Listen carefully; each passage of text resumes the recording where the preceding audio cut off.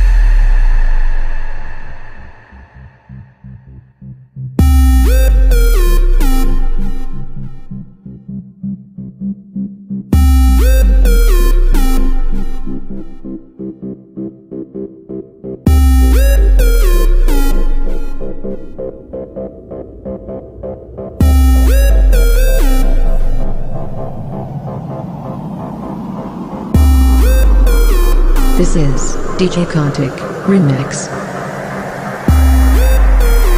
DJ Contic in Productions.